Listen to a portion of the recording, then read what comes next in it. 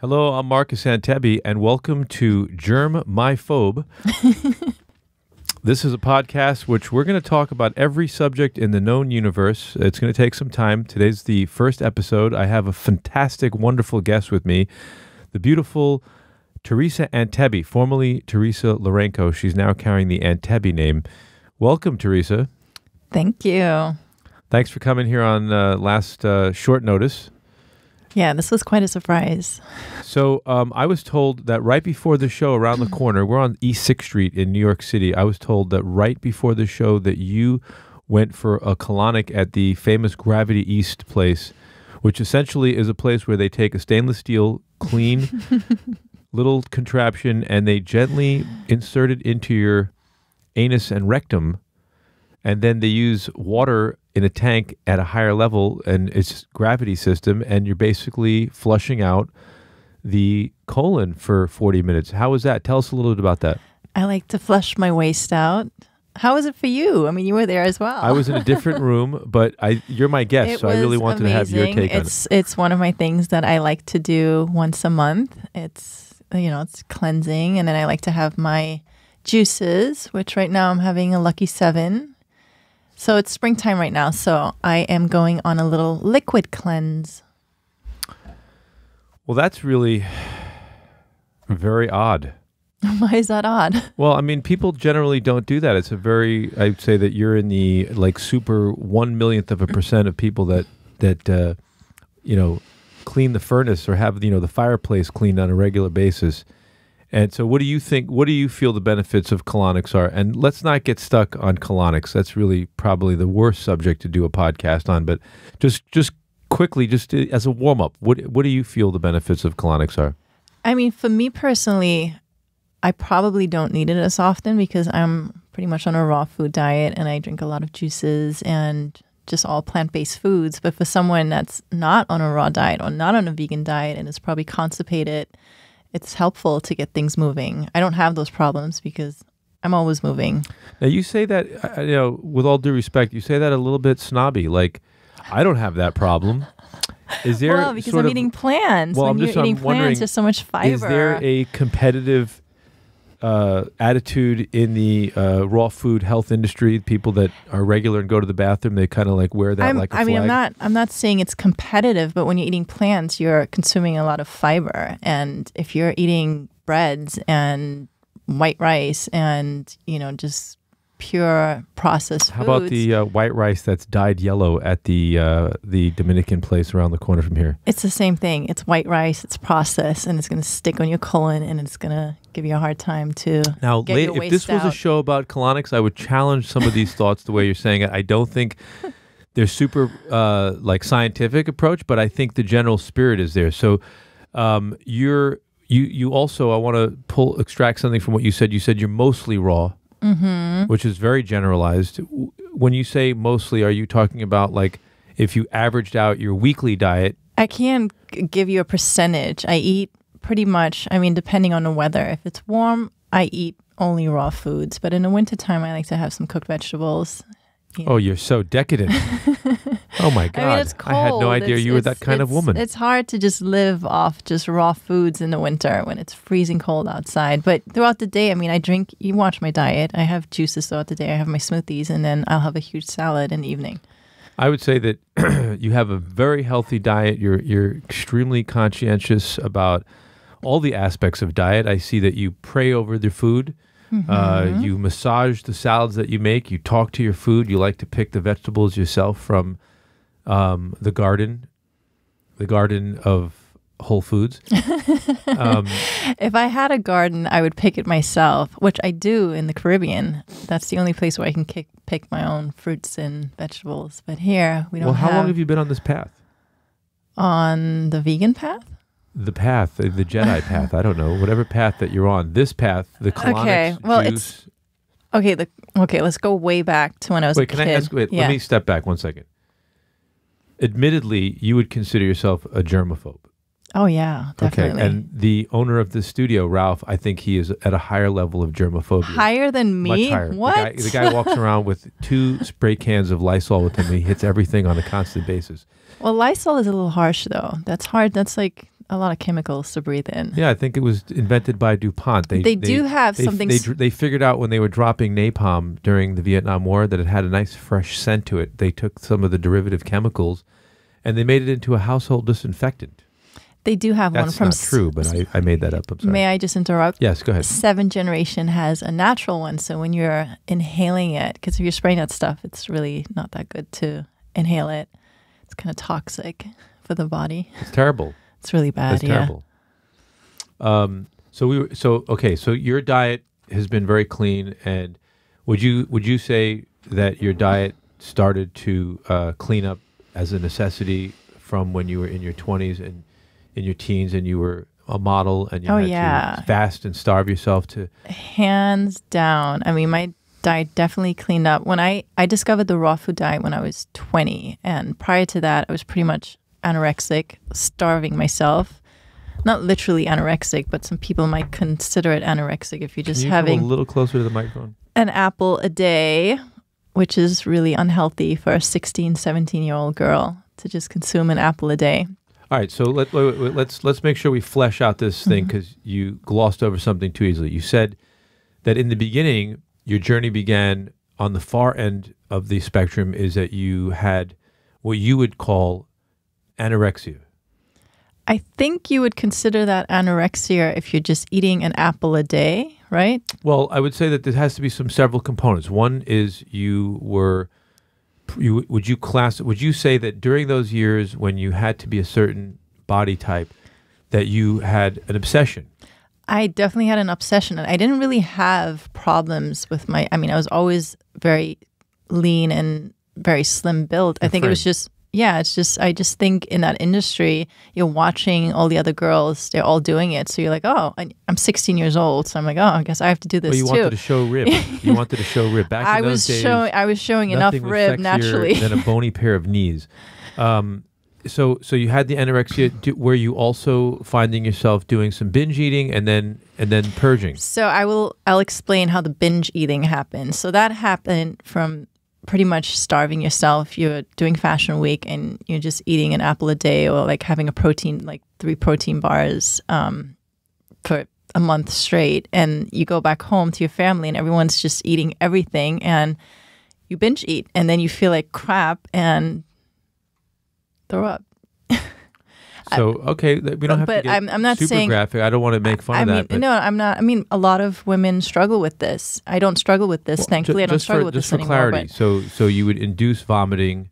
I would induce vomiting. It, this was not on a daily basis. This was Just when time needed. to just time when needed. Little like touch up. Ralph Lauren was in town. Karl Lagerfeld. Got to drop a couple of. and let's ounces. let's just put it in there. I was a kid. I was a teenager. I had I didn't honor my body the way I honor my body right now. You know, I'm 38 years old now. I have I love my body. I respect my body. I would not do any harm to my body and I at this and I can age. attest that. I would I would say that that given your circumstances of being in that industry, which is extremely competitive and very hostile towards body types, and people are constantly being rejecting, and there's a lot at stake, money and self esteem and fame goes into the picture. But answer me the honest question: Mm-hmm. When would you say the last time you did a um, a the the bulimia portion? When was when when when would you say the last time you did that was? I've slipped up once. I think about two years ago. It was a one-time thing. Okay, so it's important. So I, I would say that from my observation of you is that you um, what you've managed to do is make a beautiful transformation of something that was highly motivated by vanity and you know obsession and self-esteem. You made it. You you turn that. This is helpful for a lot of people who might be in this position. Is you turn that on willpower alone. You said, well, if I'm going to eat light and minimal calories, I'm going to eat super clean. Mm-hmm. And you, at some point in your career, Well, I was going to go back to that how I got to the raw Right. food So diet. tell us yeah. about that. So, um, I was having those binging things in when I was, I think, about 18 years old. But my mom caught it, so she pulled me out of it really fast. And when I was 20, I came across a raw. My girlfriend told me about this raw food restaurant, which was back then called Quintessence. And we went there and we had lunch and I was like, oh, this food is so good. It's all raw. I couldn't believe it was just veg- like vegetable based, nut based, and not cooked, and and just so healthy and so alive. So I started researching and reading books about the raw food diet, and it made a lot of sense to me at the time. I was 20 years old, um, and I just dove right into it like cold turkey. I'm going to be a raw foodist now, and I was able to eat a lot of food and not and keep my body the way I wanted to keep it and be healthy. And I had you know glowing skin and you know not constipated and not bloated and just healthy. So I stuck with it. And it and it certainly probably made your life more manageable. Yeah, definitely. So today, you would say that I would still say that knowing your diet as well as I do, I would say that you're very, very conscious of the quality of the food that you consume on Yes. a whole spectrum of things, I like organic food. Yeah. I prefer if it's from the farm directly, but you know, it's we don't have that access all the time. right. So, what are your decadent moments with food today? What's a cheat for you? What's a cheat for me? Yeah. A raw chocolate. Wow. wow. A raw chocolate or a raw a raw pie. Right.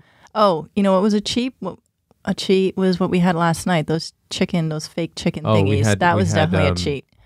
Some type of uh, wheat gluten See, that was protein that was processed food, which I don't. I don't like to have, and that was a, a, cheat. drumstick. and it looked like and a it looks chicken. like a piece of chicken. They put barbecue sauce on and a lot of salt, and it is kind of irresistible. I definitely felt the con- the consequence of eating just one of them last night. Yep. Um, I I felt it too, but then I had a colonic today, so oh wow, flushed Okay. it all out. That was a very expensive meal. Not only did it cost us twenty five dollars for that meal per person, but it cost us one hundred and twenty five dollars to flush it out. It cost you twenty five. My plate wasn't wasn't that much. My Oh, plate was I had kale salad and know, one piece pay- of and one. Seven dollars. I mean, All right, so I want to just uh, move the subject for a second because we definitely could make this about uh, eating disorders. I want to just validate one thing and say that I think that a lot of people have mysterious types of eating disorders. Um, I know that an eating disorder that I've uh, written about is just the disorder of not knowing how to identify healthy food and not making healthy food a top priority in the day. You know, um, that's definitely a disorder because it causes so many problems, not just emotional problems, but physical problems. And I think that uh, it's a long process to become conscious. One of the things that was missing for me when I was in my 20s was I didn't know how to find good teachers. And I wasn't the type of person who was going to read a diet. see, that was me. I didn't have teachers. I just read books. Right. I and read a also, lot of books. I, I didn't have the motivation that you had. If somebody was offering me six hundred thousand dollars to wear certain clothing, I probably would have Yeah, definitely been had a the lot motivation. faster to uh, evolve my diet. My diet, when I was fifteen, was off the charts. I was headed towards being a five hundred pound human being, and I don't say that in a disparaging way. It wouldn't have fit me and my lifestyle, but I was just I would eat four dinners, and, it, and if I went to like a place like Denny's, I'd have like four plates if I was hungry. I would just order four things.